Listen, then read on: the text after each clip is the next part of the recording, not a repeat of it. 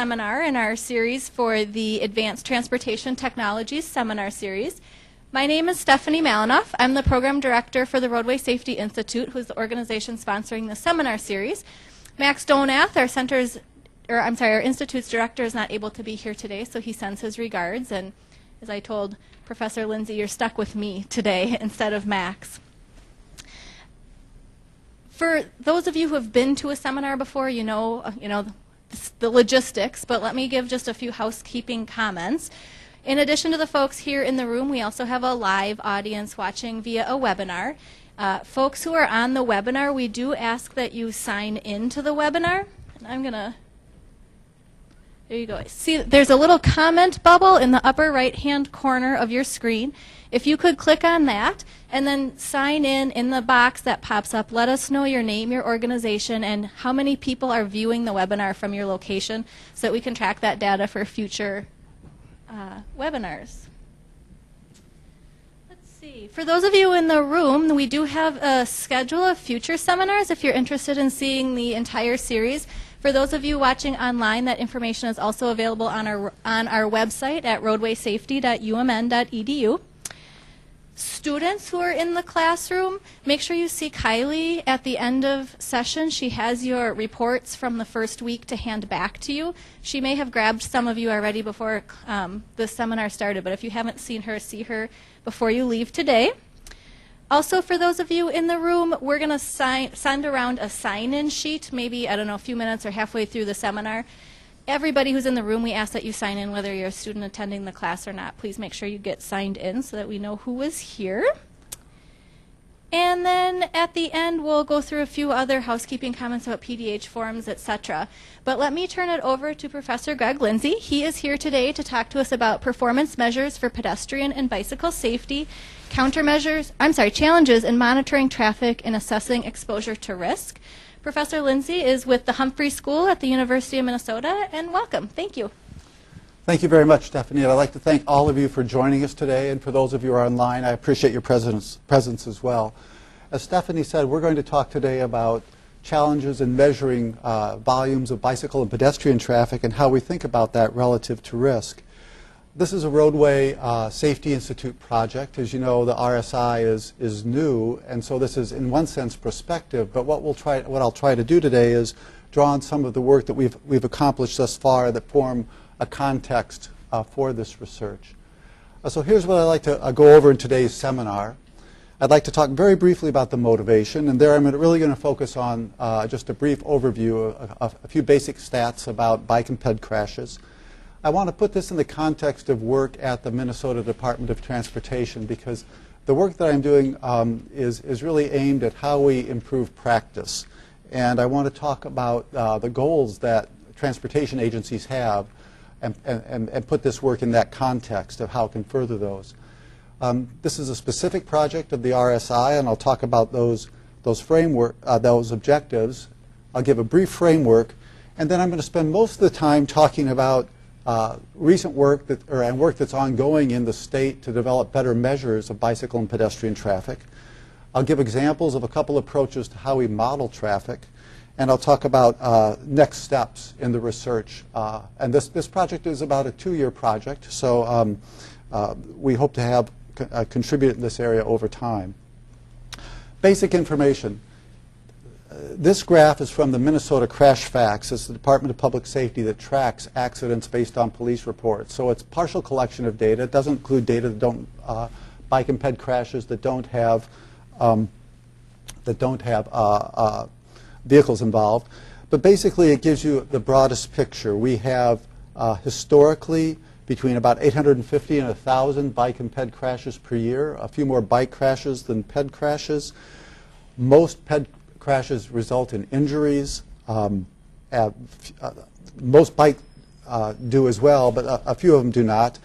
And over 4 to 1 percent, respectively, of ped and bike crashes result in fatalities. So one of the questions is how do we analyze and develop our transportation systems to minimize uh, these, these crashes, these injuries, and these fatalities?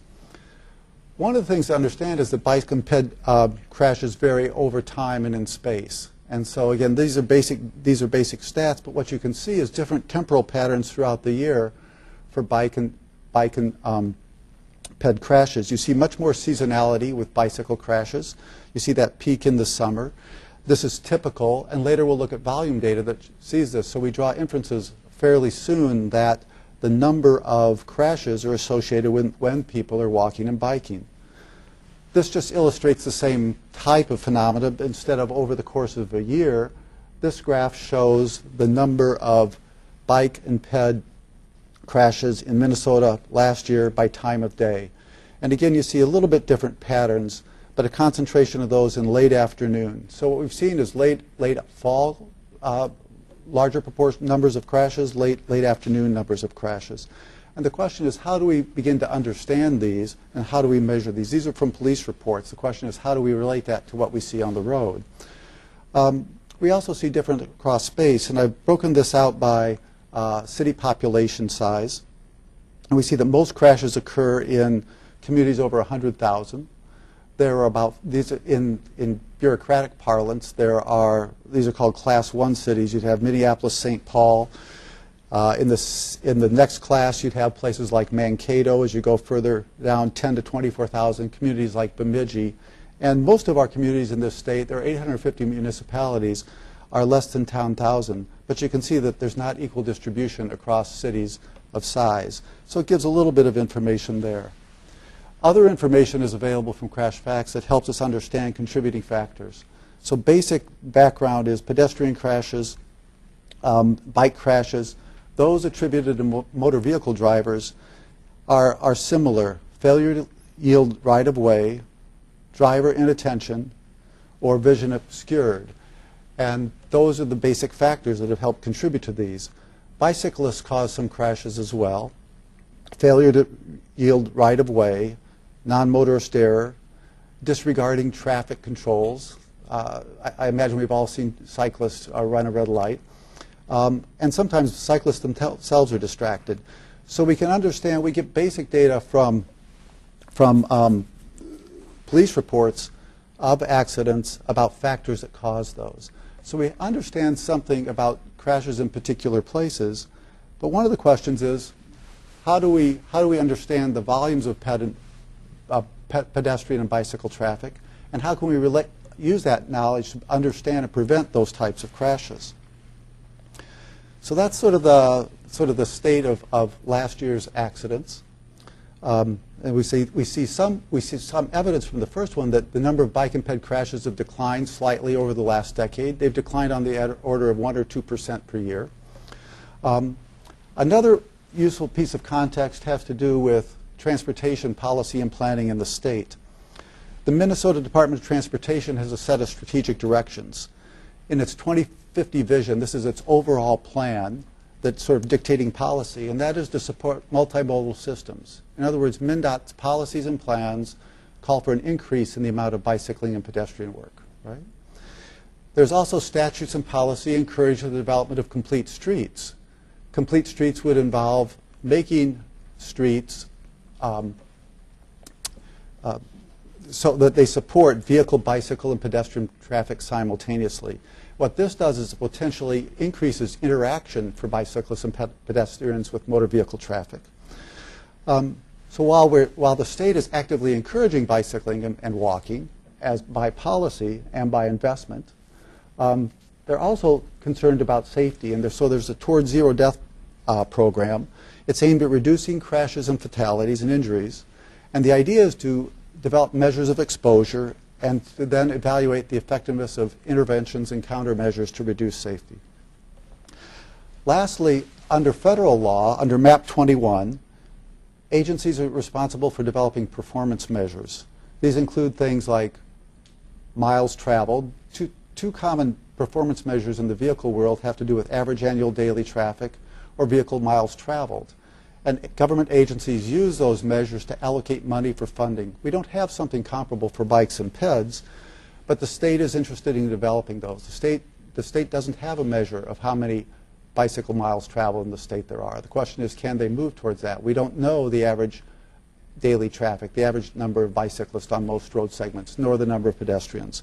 So the question is, how do we begin to develop those and use those, use that information? Similarly, the, the state doesn't have denominators for normalizing crashes, so they, aren't, they don't know crash rates. And these are things that they're interested in trying to understand. So we have a, a problem with bike and ped crashes. We want to increase the safety of, of travel for bikes and peds. And at the government level, we want to foster that activity and track how uh, successful our events are. So those are two contexts for the work that we're going to do. This diagram just shows that there is there are changes in biking, bicycling, and pedestrian now over time. These come from one of our doctoral students, Jesse Schoner, is analyzing travel behavior inventories that were taken by the Metropolitan Council in 2000 and 2010.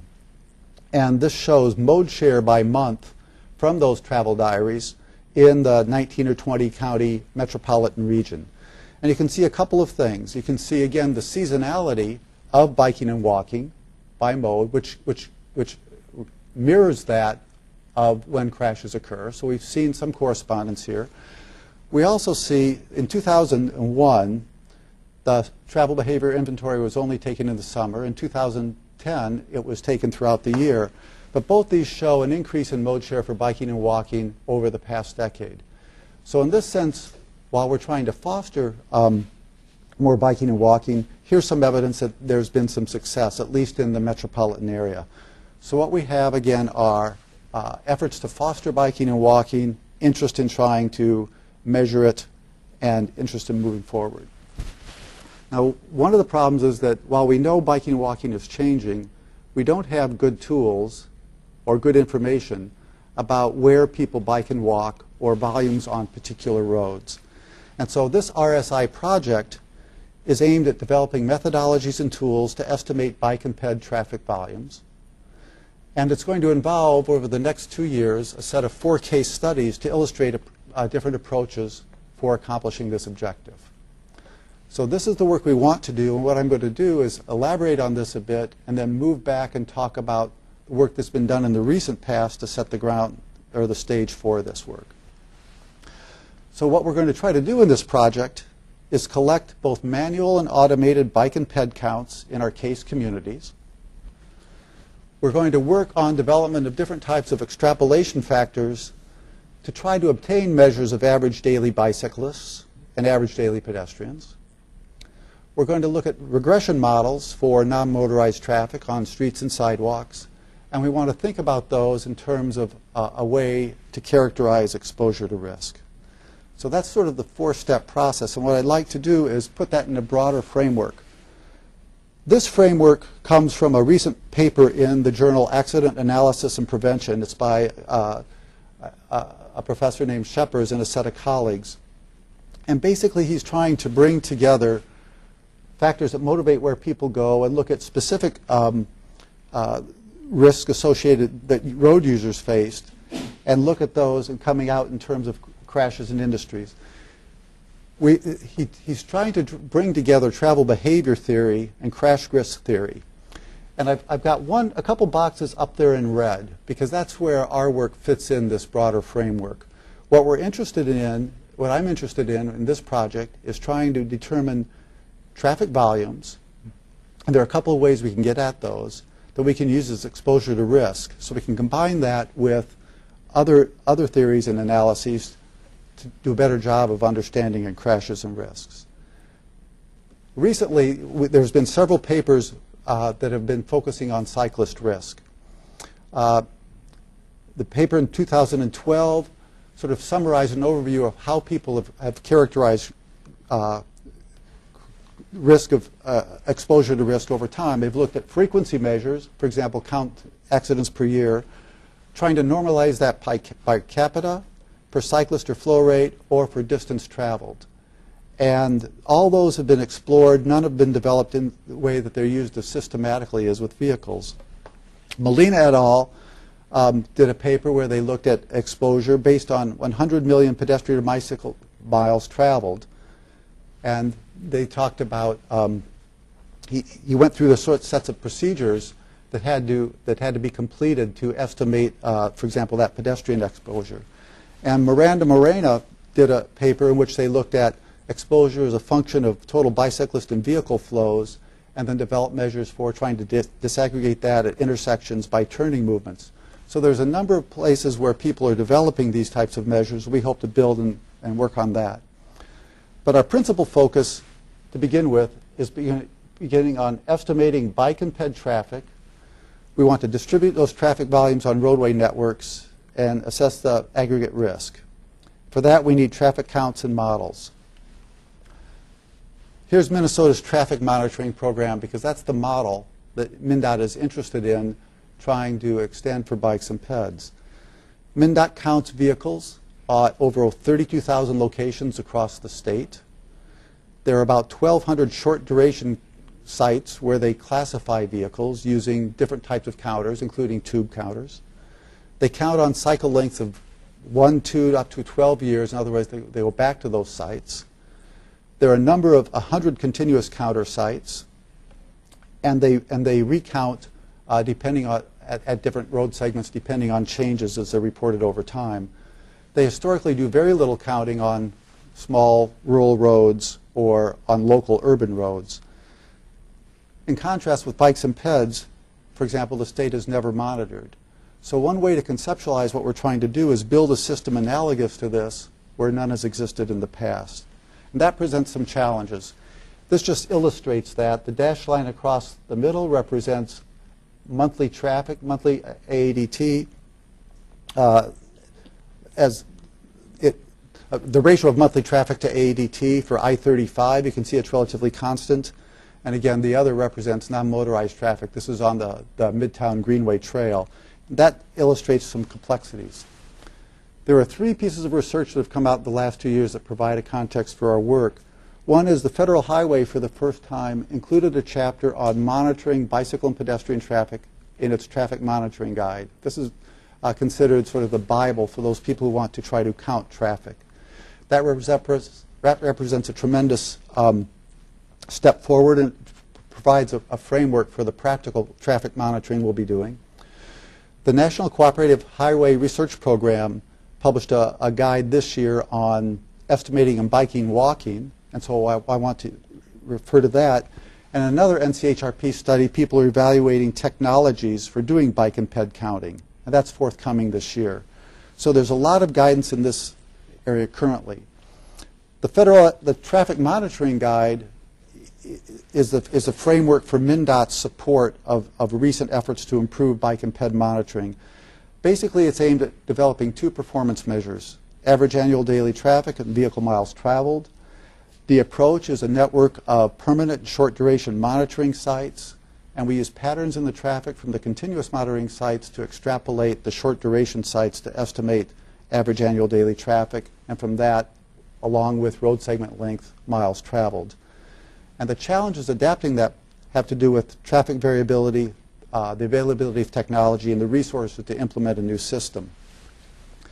MnDOT's recognize that, and they're interested, and they're testing now commercially available counters that they might work with the districts and local municipalities to extend a mon monitoring system throughout the state. So they're looking at adapting pneumatic tubes that are used in vehicle classification counting to get bike counts, they're looking at using inductive loops, both on trails but on roads. There are now technologies that didn't exist five or ten years ago to count bicycles in roads and differentiate them from vehicles. They're looking at microwave counters that can be used on trails. And then they're looking at also other types of infrared technologies. So MnDOT has a project uh, to evaluate half a dozen of these different technologies. And I want to illustrate some of the challenges that they're facing in adapting these because they set sort of the foundation for moving forward and getting counts to get volumes to estimate exposure to risk. These are examples for the first time in Minnesota now. Within the past year, we've established three permanent counters for counting bicyclists in streets. There's one in Duluth, one in Eagan, and one in Minneapolis up on Central Avenue. And you can see in the, the picture on my left, to be your right, the EcoCounter Zelt. This installation um, puts an inductive loop, a bicycle runs over it, the, it, the, the, the metal in the bike is sensed, and it counts. This particular logger is connected to technology to send the counts back automatically towards to a server, and we can monitor this one from our desk. Uh, one, one thing that, one approach to trying to get counts that people are extremely interested in has to do with adapting tube counters used for vehicles to get bike counts by changing the classification algorithms. This has potential for getting widespread geographic distribution because the counts are already being taken and they just have to be adapted. We wouldn't have to put in new technologies. This has been done in Boulder County, Colorado, and a number of other places. And so we're testing some of that, and I'm going to take a deep dive into that in a second and show you some, some preliminary results. And lastly, there are these types of radio beams that can be used on trails to get mode split. Uh, historically, infrared counters that are used on trails don't differentiate bikes and PEDs. This type of counter does. So over the past summer, we had a couple of students, uh, one in civil engineering, one in Humphrey, who have been working with Hennepin County to begin to test to see whether or not they can get bike, uh, bike traffic counts from the tube counts that they've been using. They're looking at two different manufacturers, one uh, a company made, called MetroCount and the other called uh, TimeMark. And the two locations they've tried these are University Avenue and Portland Avenue. And you can see the setups there. One, uh, University Avenue, they were deployed in two different ways. One to look at uh, a bike lane and one travel lane, and one to look at a bike lane and three travel lanes, one direction. And over in Portland Avenue in South Minneapolis, they were deployed across a, a bike lane and a travel lane. There are different classification algorithms based on axle, axle spacing and speed. The way that we did this, we collected the, we collected the tube counts, and then the minute, uh, we had the people uh, from the Minnesota Transportation Observatory videotape. We counted bikes, and we used the manual counts from the video to validate the tube counts. And what can see here, you can see the, um, where it says percentage error, we look at the, the magnitude of error for the counts here. And we see at the Portland Avenue site, which was one travel lane and one bike lane in each direction, the percentage error from the bike tube count was, was small, less than 10%. And that varied on the classification algorithm. Different ones exist from different manufacturers. But on University Avenue, we didn't do so well. And particularly one device, the TimeMark, didn't work at all well. And these tube counters um, don't work at all for multiple lanes. Uh, the, the, the error rate becomes very high. It has to do with their sensitivity and the, and the pressure from the vehicle. And so you can see that if we want to try to adapt tube counts to get bike counts, we face some challenges. There's some promise, but there's also some other results. Now, one of the things we want to do is look at what type of error is this associated with. And so this is a simple plot of the um, the MetroCount hourly classification counts the tube counts against the manual counts that derived, and we see fairly uh, strong consistency. So we know that the typical count is an undercount. And when we, w- during the video observation, uh, the, the, the, the research team looked at ascertain why miscounts, why, why, why error were occurring, and it typically had to do with occlusion, bikes and uh, cars passing at the same time, and only one, one vehicle or one bike being registered. And so what we've been able to do here is estimate uh, an equation that we could use to correct the bike count to bring it closer to what we think the real actual count is for that particular site. And this is an example of a way to try to adjust the counts from the tubes to better represent what is observed manually. And you can see the solid line here, the solid dark line represents the, the manual count from the traffic observatory. The dashed line represents the tube from the counter. And depending on which, which uh, way we try to correct, which algorithm we correct for, which equations we use, we can do a better job of matching. And so we can come reasonably close to tracking bike volumes in this respect. And so we think that tubes have some promise, but the results clearly are mixed. We have higher accuracy with lower traffic and fewer lanes. We can develop ways to adjust for known systematic error when we think we know the cost. Use of these tube counters is potentially cost effective because they're being deployed all across the state by MnDOT and local staff. But their applicability depends on our tolerance for error, and that's something we have to think very carefully about. And so it could be that these wouldn't be acceptable in some cases. Now, when we think about the challenge facing the state, there are no uh, standard technologies that are being used across the state. So these types of validation exercises are needed for all the different types of technologies that they're talking about using because we don't know how well they work in the field in the long time.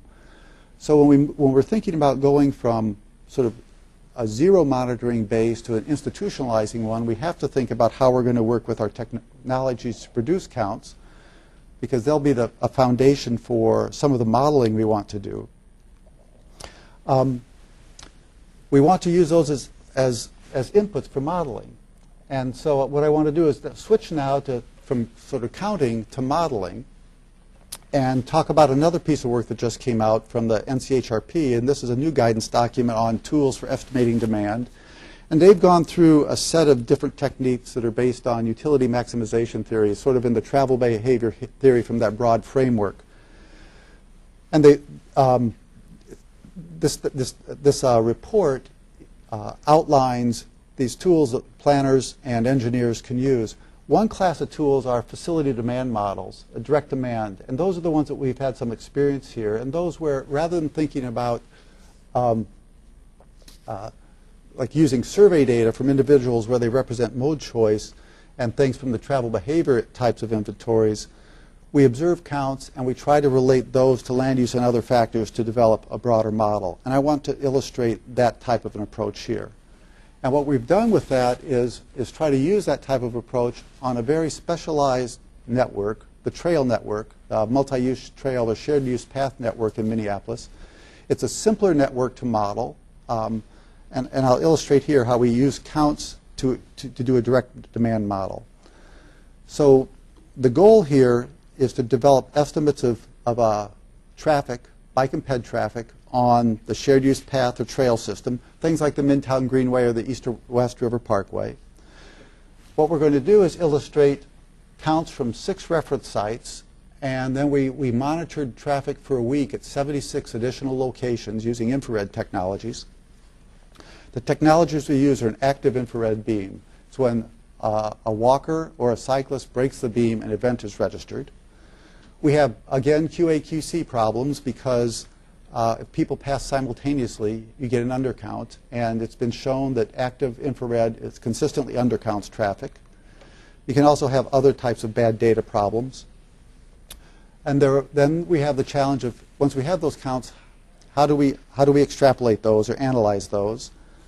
Then we're going to want to model those. And then the question is, how do we maintain that network? And the, the words I have here are, are collaboration and scrambling for dollars because agencies don't have yet budgets for implementing these count programs. So this has been a demonstration.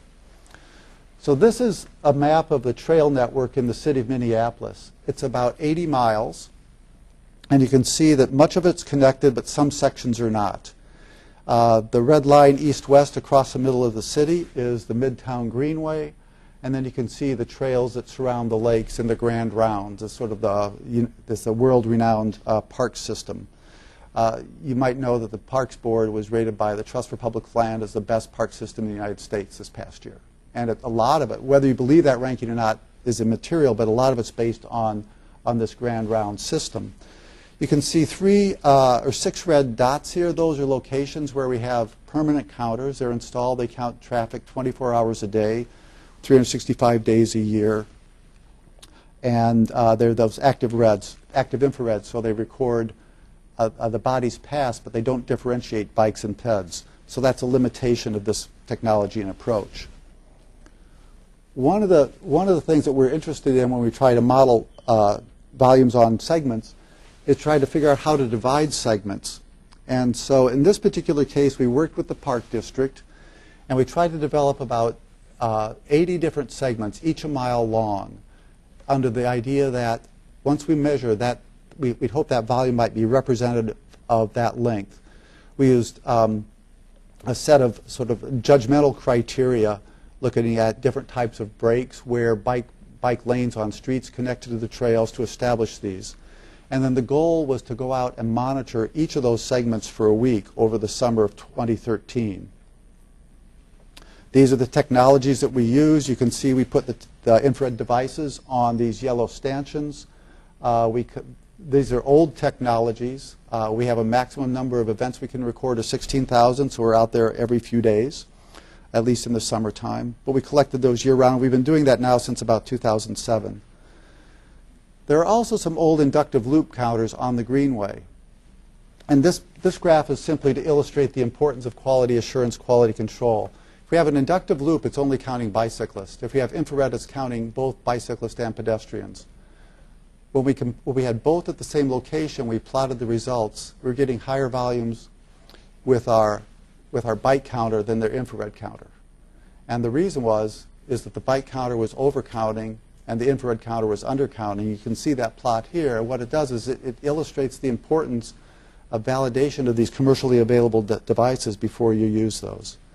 And so we went through an exercise of, we spent several hundred hours in the field over time uh, man, doing manual counts, relating those to the observed counts to develop this types of a, a correction equations. So we have an hourly correction factor for um, that we apply to the counts based on the type of technology that we have. And they typically involve bumping up the volumes based on the undercount associated with occlusion. Now, this gives you an idea for our permanent reference sites, the estimated total traffic, the estimated um, average annual daily traffic, and a little bit about mode mix that we could get from partly because in some places bikes and peds are on separate trails and other places where we had two devices. A couple things to take away here. We have orders of magnitude difference across our six reference sites, range, and they, are substantial. For example, there's 1.3 million people per year go around Lake Calhoun. And we look at mode mix. On the Midtown Greenway, bikes represent 85 to 95 percent of the traffic. Around the lakes, two-thirds pedestrians and one-third bikes. And so you see substantial mode dif difference. So that underscores the limits of the infrared technology. It also underscores the importance of using different approaches to work with bikes and PEDs. Now these give you the results, just basic descriptive information. You can see that there's about three orders of magnitude in the, in the northwest quadrant there. That represents the volumes at the reference sites. And you can see that there are uh, three orders of magnitude difference, and you can see the sharp summer peaks. If you look uh, over in the, in the northeast, when we normalize monthly traffic to annual average daily traffic, however, you see that they all are pretty similar. And that's important because what it begins to tell us is that regardless of the volume, they're moving up and down across, over time in similar ways. When we try to do that separately by bikes and PEDs, we see that bikes are more responsive. They have a greater summertime peak, and that also mirrors what we saw with accidents. Right? So we're starting to see some, some similarities here. Here, what we look at is average daily traffic uh, for the year at the six monitoring sites, and you can see higher traffic on Saturdays and Sundays and uh, generally decreasing with Friday being the lower day. And we see different patterns on, around the lakes and on the greenways. And so what we're again seeing is that the similar patterns but spatially different patterns, and we need to take account of that if we're going to model. And when we look at hourly traffic, both on the weekend and weekdays, we see differences. We see on the midtown, for example, Saturday and Sunday are clearly different than the other five days around the lakes, you have this Friday that looks much somewhere between the weekdays and weekends. And we have, in each of these cases, we have peak traffic occurring in 4 to 6. And if you remember our bike and ped traffic, when those accidents occurred, it was also that late afternoon. So what we're also beginning to do is seeing some similarities here. And lastly, we want to talk about how we then, if we understand these patterns at reference sites, can extrapolate. And the, the, the picture on the, in the southeast uh, quadrant there shows daily traffic for 2013 at all six reference sites superimposed on each other. And you can see they're all moving up together. Now, historically, when MnDOT takes a short duration count and extrapolates it to a road segment average annual daily traffic, it does a two-step process. It uses the information on the west side of this image, um, on your left. First, it looks at day of week, and then month of year to do an extrapolation. And one of our doctoral students, uh, Steve Hankey, who's, who's, who's just graduated, worked with us to develop a different method that takes into consideration the variability of each day of year. So it's a different type of factoring extrapolation method. And then he used simulation to extrapolate and see how our accuracy was. So basically what we did is we took the, we, we compared, uh, we computed the traditional two-step process, day of week, month of year factors for five of the six reference sites. We did random selection of 50 different one day, three, five, seven day counts from the sixth site. We used the, the two step process and the one step day of year process to predict traffic volumes for the sixth site. And we compared the extrapolation error. What we wanted to do this was both look at whether or not, considering the, considering the variability each day gave us an improved measure, and also we're trying to get an idea of how long a short duration counts we needed to take in order to minimize extrapolation error. There had been a paper published by Krista Nordback, who's at Portland State, um, uh, before that used a comparable method. And what you can see here, uh, the horizontal, the, the, the x graph has to do with the number of days we take a sample. The, the vertical axis has to do with the error that we have when we extrapolate to try to get AADT, average annual daily traffic for uh, that site based on our monitoring results. And what you can see here is that this new method works a little bit better, and that if we monitor uh, up to a week, we sort of we get sort of an optimum trade-off between the cost of monitoring and improvement in further extrapolation. And so what sort of the, the emerging guidance for using this sort of short duration counts for, for um, short duration counts is you need samples of at least a week because you can cut the error rate in extrapolation by 8, 10%. So once that method was developed in 2013, we then, went, uh, we then moved our infrared counters. We got a minimum of seven days of monitoring at each of the 80 sites uh, throughout uh, the 80-mile trail network. Um, and then what we were able to do is use this method to factor and to develop an AADT, or an average annual daily trail traffic, for each of the trail segments. And you can see those in, uh, in the map. In the, in the map with the bubbles, it shows us the, uh, the, the, the, volumes at that site. We've, we've mapped those on the road segments in the other ones. And you can see where there's the highest traffic.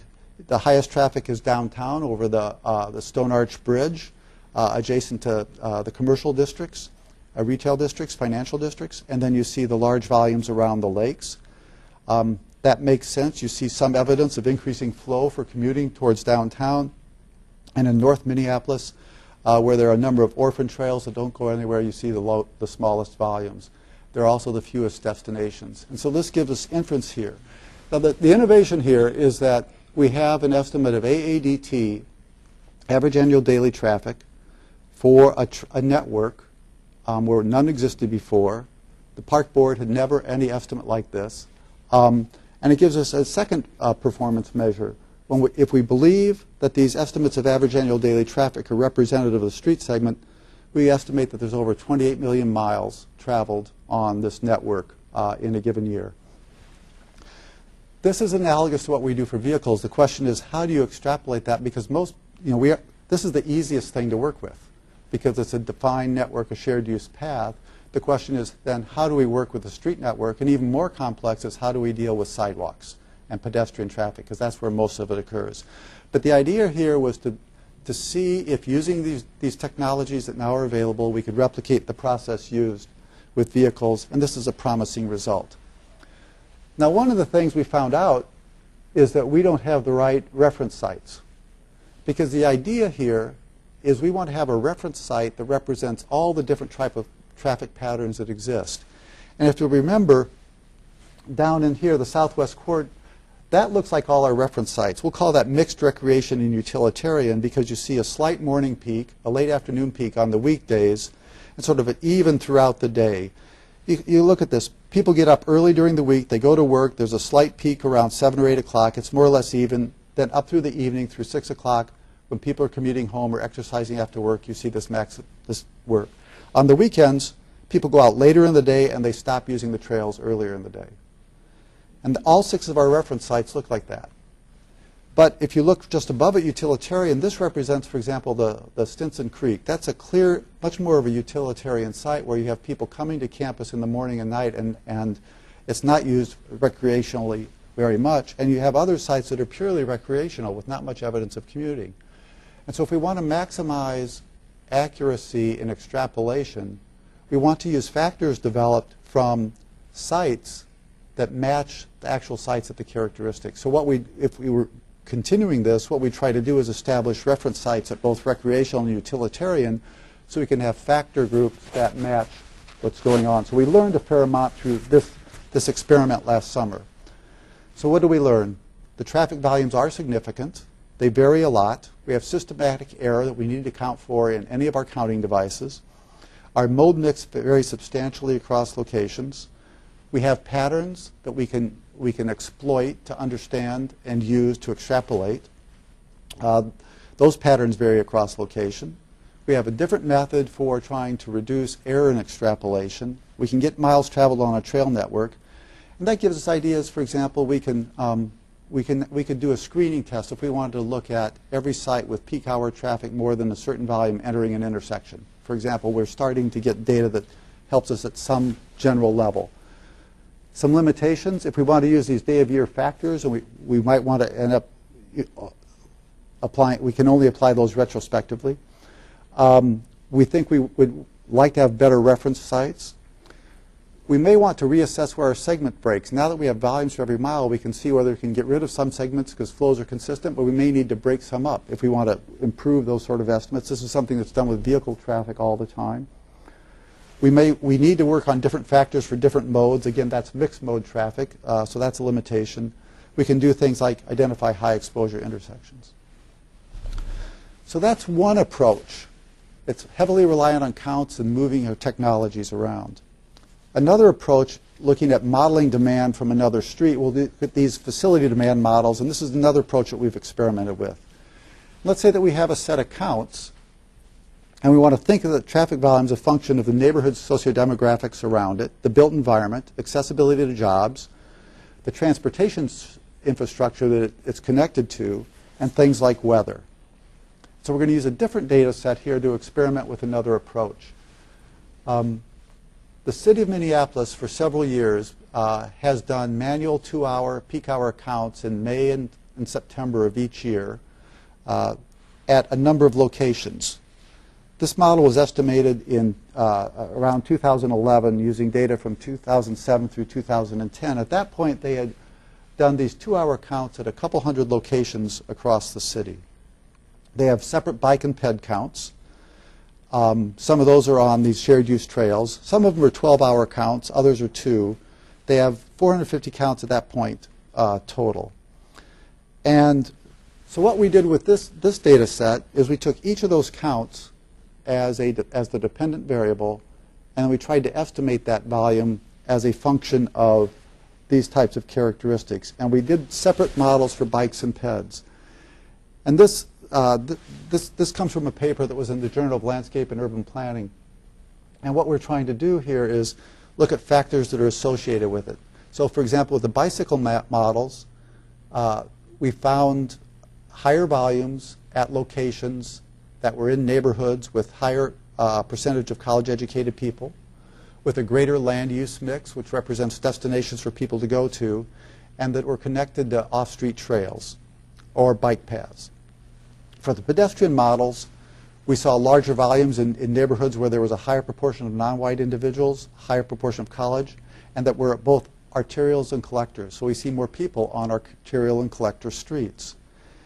What we're able to do then is uh, collect data for the rest of the city and then extrapolate and estimate uh, what we think, you know, these are, these are first generation estimates of bike and ped traffic on different streets. And you can see both uh, some of this makes sense. So, for example, on the bike traffic, we pick up the Midtown Greenway. However, we don't pick up as much as we should around the lake traffic. So we've just showed you that that's, that's wrong. For ped traffic, we see clusters downtown, which makes sense because that's where there's a lot of walking. And we wanted, wondered how, how good these are. So we looked at model validation. So we used data from 2007 through 2000, uh, I think, 9 to predict 10. And you can see that uh, if we use, we were using negative binomial models, um, they, work, they work much better, but we don't do a very good job of predicting peaks on unusual days. So uh, there's still work to be done to develop these types of demand models. Um, they require counts as inputs.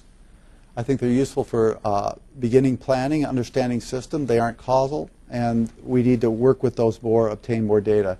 So this is another approach that sort of as a foundation for the work going forward. Now, in the intervening time that those two work has been done, there's been new work going on in Minneapolis and Hennepin County. They've been collecting additional data.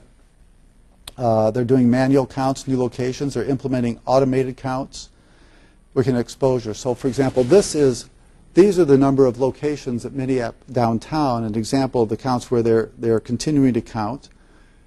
Minneapolis has increased the number of count places where it does two-hour counts from about 250 to more than 450. So we have a, a better geographic coverage. And we want to ultimately link that with crash data. So here's a summary from the city of Minneapolis for where crashes have occurred.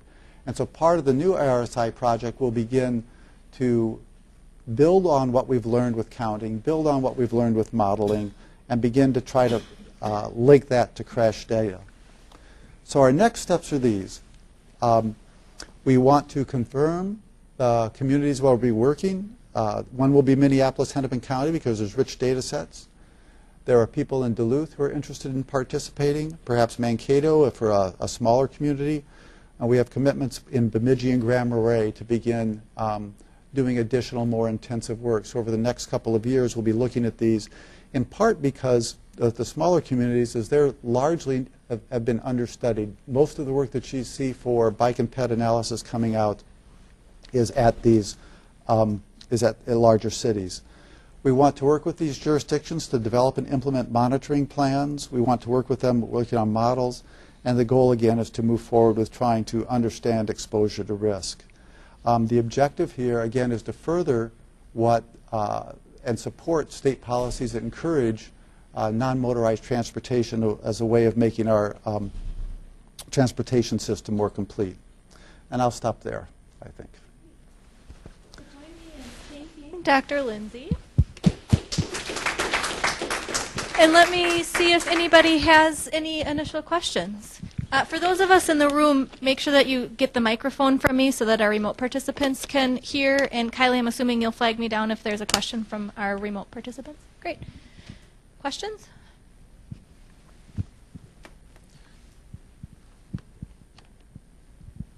Yeah, Greg. One of the things you mentioned was the the challenge in expanding this methodology to the street network and getting off the trails here. And just as an anecdote, you know, I remember my favorite uh, left turn phase at a nearby intersection for decades. It ignored me every time I was in the uh, left turn lane, and I'd have to wait for a car to trip the uh, detector uh-huh. or run through the red light. Uh, and then for one summer, it seemed like uh, that detector recognized my bicycle, okay, when I was there and would give me the uh, green to turn here. And then after a while, it went away. So it seemed like the sensitivity had been adjusted to actually recognize a bike for a while here. So could you just comment on maybe the potential of using the existing street detector network here to uh, supplement your methodology? Yeah, people have explored that in a variety of different ways. The problem historically has been the, the lack of sensitivity. You couldn't get that. I, I was on a bike last night at um, Jefferson and, and uh, Fairview, and they, they painted on it, put your bike here so it'll activate the site. So I, I think that there is promise going forward, but I think it will be some time before we can move to that. People be, another, another area that's related to that um, there's research going on now at Portland State where they're using pedestrian actuation signals to get an idea of not the count, but sort of an index, because it would be a, a clearly an undercount. They only record each one of those to do the same type of thing. So I think that there, that's another line of research that people are taking, um, um, but we haven't assembled those data here yet. Any other questions? Other questions? Greg, I have a question. Could Sure. you talk a little bit about, probably in particular, the loops and the tubes, how they work with a fabulous Minnesota winter of snow and ice? I don't know if it's as applicable to the infrared, depending on how high they're mounted, but I'm assuming that the stuff that's on or in the pavements There is are, concerned. the tubes are not used in the winter. The, the, the tubes are only used in the, uh, in the summertime because snowplows and other things tear them up. And also, there's been research that shows, uh, particularly for bikes and peds, that you minimize accuracy when you when you extrapolate from counts taken during the the, the months with the largest volume. And, and that's typically here April through October. Nordback showed that, and then and that, that was another piece of Steve Hankey's work. And so that's a limit. That's that's uh, seasonality there. In terms of the inductive loops in the road, uh, we'll find that out, okay? Because they were there. We have data. Um, they've just been in this year, and when we look at data at the end of the year, we'll have a better understanding of that. One of the challenges there um, is that the bike volumes are so low in the winter. Uh, like on Central Avenue, where the inductive loops are, they were put in in November, and the counts are, you know, five or ten a day. And so it's very difficult to assess accuracy when you only have that number. And so, uh, you know, we made the decision not to put out videos during then to try to validate those and wait till a period when there's larger counts. Um, different infrared devices have different levels of accuracy. The, the active infrared that involve breaking a beam, um, typically they're within 10, 15%, sometimes less. Passive infrared that senses temperature differential um, typically uh, have a little bit greater error, and they may be affected by backroom temperature and other factors. So you have to match the technology to the site. Other questions? Anything online? Okay, great. Thank you, Professor, Professor Lindsey. Let me end with just a couple of comments. Uh, for those of you who might be collecting PDH hours, see Kylie. She has a form for us. Next week, uh, Professor Ray Benekohal from the University of Illinois at Urbana-Champaign will be our guest speaker. However, he is going to be on campus at UIUC, and so for those of you who are students participating in the series, you are not required to come in person to the to this room next week.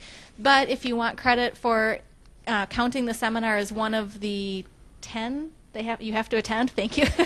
Make sure you sign in and watch online next week. For those of you who might attend in person, it's up to you. We will be here in the room, but we will be broadcasting the presentation. You're free to join online as well.